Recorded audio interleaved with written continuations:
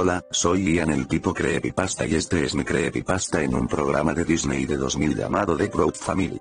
Aquí está mi historia. Familia orgullosa vi PNG la pantalla de inicio. No editable, un día, estaba aburrido, así que decidí ir a mi computadora y ver algunos programas en Disney. Aparentemente, el servicio de transmisión dijo que agregaron un episodio especial de The Proud Family, así que busqué The Proud Family en Disney+. Y encontré este episodio llamado The Proud Family, final de prototipe. Así que hice clic y comenzó. Comenzó sin una introducción y simplemente pasó al episodio. El episodio comenzó con la residencia de The Proud Family, pero la casa es roja y negra en lugar de azul celeste, y estaba en medio de una tormenta eléctrica. Luego cortó hacia el interior de la habitación de Penny y ella estaba llorando mucho. Luego dijo en japonés BBC. Se tradujo como ¿por qué mi vida es tan mala? Siempre estoy atormentado por Bebe y Cece. No hay escape, no puedo.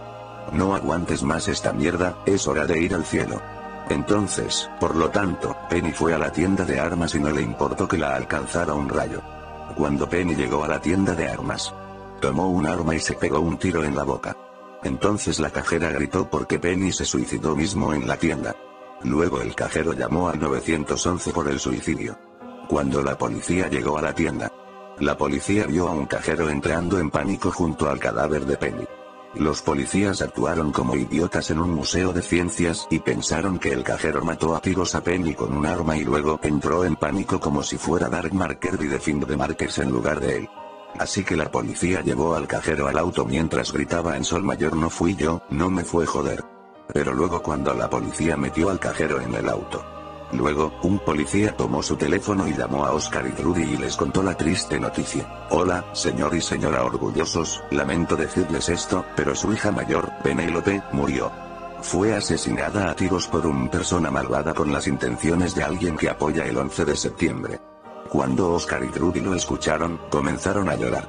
Luego había una tarjeta de tiempo que decía una semana después, pero parecía que la persona que leía la tarjeta de título era Satanás. Después de la tarjeta de tiempo. Se cortó al funeral de Penny. Todos estaban llorando excepto Bebe y Cece porque no les importaba una mierda el funeral.